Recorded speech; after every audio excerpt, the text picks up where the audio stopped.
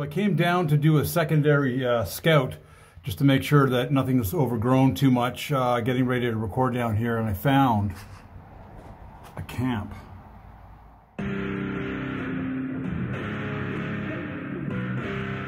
I might, I might abandon this whole. I don't know what I'm going to do right now because I'm leaning towards not recording in those culverts, which is very. Um, I've been really looking forward to those culverts, uh, but seeing um, a whole scene in there with people bringing their stuff in a whole alcoholic kind of situation there. Um, I, I caution going in there full of uh, gear and there's a couple reasons too is I know of another location that I'm going to go scout now and I'll put this in the video. Um, it's more controllable. It, it has a cool sound as well and I won't need much volume. Um, and it's stereo culverts as well, except it's cement. So I'm off there now to check it out, and I might just do that, which is not what I expected at all. But hey, no one expects anything when you're adventure recording. To make sense of what this project is, I would advise you to watch the previous video.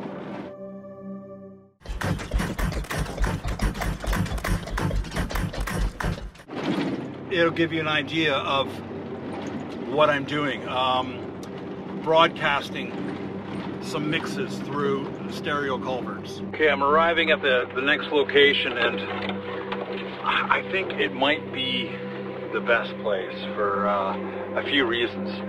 The Buck 79, a leader here in Canada. Here's the uh, other set of culverts. They're, they're cement, but they're about as the same length. The idea would be to tie off some rope from the guardrails and hang them, they being the speakers, the monitors, amplifiers, suspended and uh, broadcast thereabouts.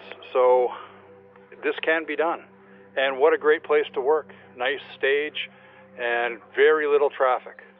Okay, it's time to get wet.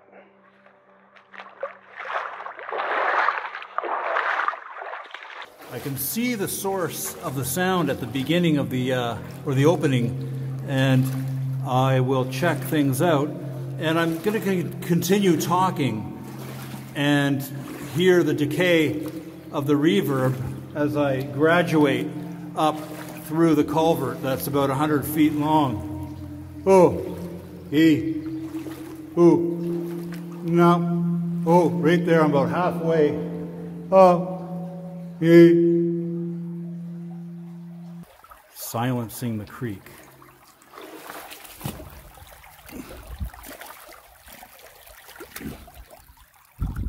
It's working. If I move that rock, those rocks, and up there, and those rocks, I might be able to tune this little creek. Mute the creek. It does sound a lot quieter, the stream, but like everything else in life, when you mess with the rocks upstream, it affects things downstream. So uh, um, it's fine tuning. This this um, is moving these rocks out of the way.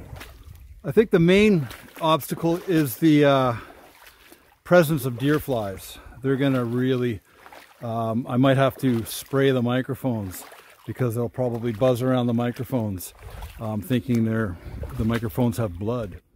Fresh spearmint. There's a difference in sound between the two. Um, this one has a quite a different decay.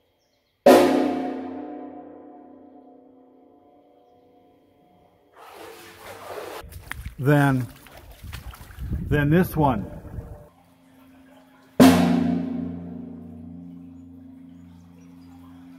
So, in a way, it makes me equally as happy. Um, and the other thing, in these bulrushes, or cattails as some people like to call them, there's a lot of red-winged blackbirds. So I might even get bold and put a microphone right in the middle of those and get a whole different sound. Um, I've got ideas. Now, I'm going to go and check the other um, other culvert, the, the corrugated one, and see what that is. But I, I think it's probably going to be noisy. And there is the beginning of the beaver dam.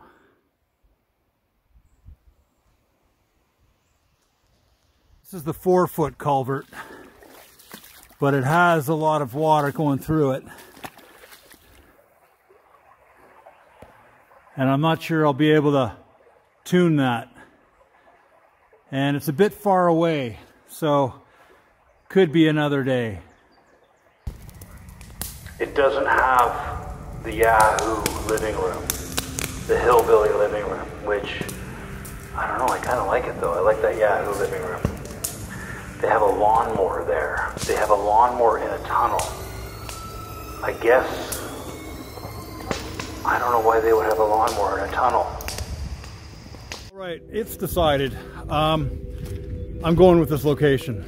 Um, it's not far from home. All the things that I laid out in the uh, this kind of scout that I didn't really think was going to happen today. I just went for uh, to get supplies, some gasoline, etc., and some milk. Um, and here I am. Life changes like that very quickly. And that's what I love about adventure recording is sometimes you just don't know when turn of, of events happen uh, because you got to read the environment. And so all it took was a couch, a lawnmower, some fireworks, some beer cans, uh, an old table, and a bunk bed. And uh, with the consultation of deer flies and mosquitoes, I think I'm going with this location. I also hear the one, and this is one big thing that I'm taking in consideration in this uh, decision that I'm making, that I, th I think I've made, is that I, I feel a lot more free here. I don't feel like there's people watching. I don't feel like there's trucks going by going, what, who's, who's that in that van? Um, I don't feel like I need to be associated with the hillbillies in the tunnel. Um, I'm, my, I'm my own hillbilly in the tunnel, so I can only take responsibility for my own hillbilly self. There's a huge comparison I just I realized by tuning and, and silencing this creek to mixing, um, like EQing and compressing, uh, rerouting. I'm excited. I may not be showing it, but I'm pretty excited. So I'm lying in bed with a cold, and there's uh, been developments of the location that I um, have been filming, the Beaver Pond area, right outside here in the Jawshop. there's a massive police presence, and there's a manhunt. There's helicopters um, circling around, searching for a homicide fugitive. Uh, killed two people, one of which is very close to this area, and uh, he's on the run for this is the second night. And uh, there's there's just it's very odd because the Beaver Pond area is exactly where um, they're have canines and such. So any um, any recording there is going to have to wait until they find this guy. Everybody's safe. We're in a village, which is good, um, and that's pretty much the, the way things have panned out for this for this location. How things change quickly. All right. Um, when I do record there, I will update people on the uh, state of the the um, his fate. And uh, there was gunshot last night.